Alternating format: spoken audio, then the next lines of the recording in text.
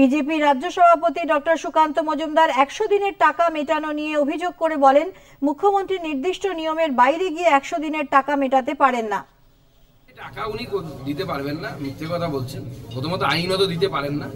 MG এনআরএ যে যে act আছে, সেই অ্যাক্ট অনুসারে উনি দিতে পারেন না। নিয়ম আছে তো কে টাকা দেয়? হ্যাঁ নিজের এই যে একুশে ফেব্রুয়ারির মধ্যে যাদেরকে দেবেন বলছে, একুশ লক্ষ বেশিরভাগ হচ্ছে টিএমসির ক্যাডার। টিএমসি ক্যাডারদেরকে নিজের সরকারের টাকা দেওয়ার একটা ব্যবস্থা করছে।